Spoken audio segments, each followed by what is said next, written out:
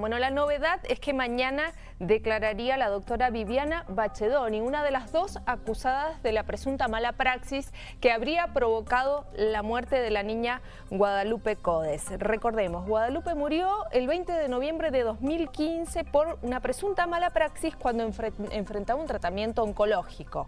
El 2 de mayo pasado arrancó el juicio para justamente juzgar a las doctoras Andrea Piatti y Viviana Bachedoni. Estuvimos ese día ahí en el lugar. Claro, según se desprende de la acusación, las profesionales le habrían suministrado en forma errónea a la nena de 9 años una medicación para tratar la leucemia. En vez de hacerlo eh, vía intravenosa, colocaron la droga directamente en la columna de la nena, lo que eh, dicen generó, provocó su muerte.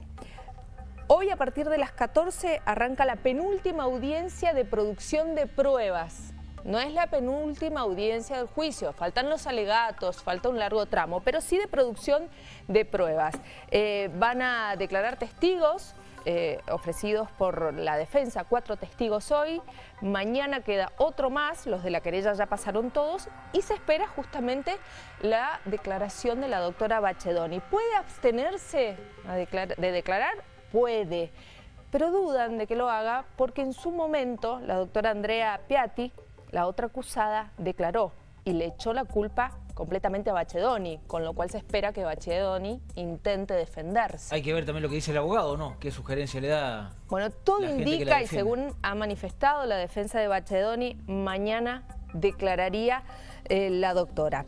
La causa está caratulada, recordemos, con dos figuras penales. Homicidio simple con dolo eventual, eh, que es la que sostiene el abogado de la familia Codes, el doctor Pablo Casaban, y homicidio culposo, que es la figura que sostiene la fiscal Andrea Lazo. Por la primera figura, las doctoras arriesgan una condena de 8 a 25 años de prisión y por la segunda figura de 1 a 5 años de prisión.